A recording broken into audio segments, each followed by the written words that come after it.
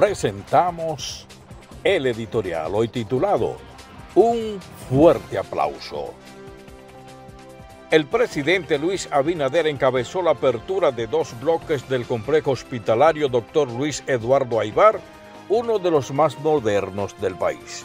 Y una de las cosas que hay que destacar no es la obra en sí, sino el gesto a pesar de que la senadora Farideh Raful en una intervención anterior a la del presidente se desbordó, destacando que esa obra era un esfuerzo del gobierno del PRM, cuando le tocó al presidente Abinader agotar su turno, reconoció al pasado gobierno el mérito de haber edificado el 75% de la obra y afirmó que en términos de la decencia y la continuidad del Estado, debería estar en el acto la pasada administración porque fue obra de ellos la gran parte de esa construcción.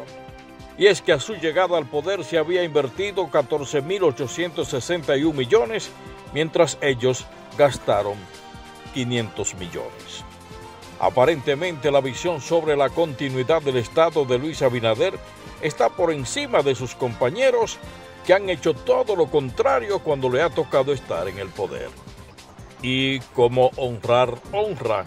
Desde aquí estamos pidiendo un fuerte aplauso para el presidente Luis Rodolfo Abinader Corona. Así se hace. Hasta el próximo comentario.